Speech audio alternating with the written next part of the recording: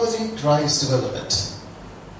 How do you see this particular technology you're using here, or you've installed, puts Mercy Hospital on the pedestal in terms of advanced treatment?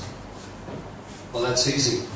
First of all, the equipment that you have here at this hospital is in the top hospitals of the world. Stanford University Hospital, and you can go across the whole world. There is no better equipment than what has been brought here. Secondly, this project was a $270,000 project, which is pretty significant.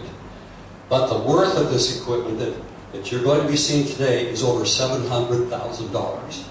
And that's a partnership that we have all partnered together. So I tell you, I'm jumping with joy today. I catch a plane tonight, be gone all night long, and headed for a project in Romania where we're putting in a uh, hemophilia project for the only hemophilia medical center in all of Romania. So I'll be leaving tonight.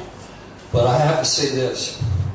I'm the, I'm the founder, but our new president, who's been with us for three years, has lifted the Assist International to a level, at the top level, where they meet with the World Health Organization in Geneva and other places.